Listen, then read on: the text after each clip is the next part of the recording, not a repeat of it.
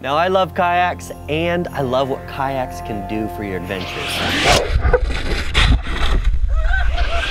And I'm here to tell you that the shape and the material of the kayak you choose is going to depend on what you're using it for.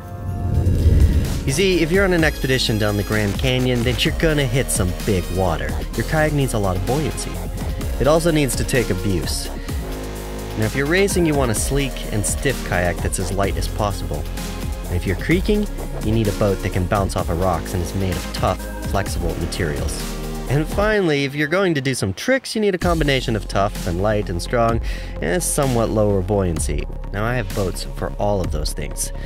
But today, we're going to look at the science behind these two materials plastic and composite. The science of materials. To get me started, I'm visiting a polymer scientist. To figure out where we're going. Given that this is a university, I don't think this looks all that odd. I brought with me one of my plastic boats so that she could help explain what goes into the design, specifically from the materials perspective. Time of the boat is good time. Yeah.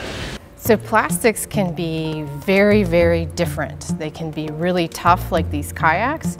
They can be really um, brittle like plexiglass and sort of anything in between. And they can be goo like silly putty. And they're all polymers, and that's one of the reasons why they're used so much. In fact, this whole topic involves understanding polymers and how those polymers fold onto each other.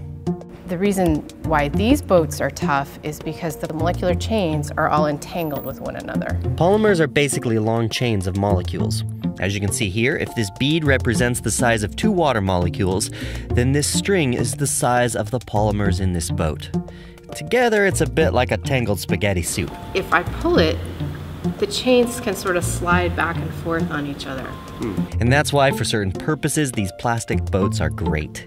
It has elasticity because as it gets compressed or pressure is added to the plastic, these polymers slowly move past one another and then can pull back into shape. It doesn't break.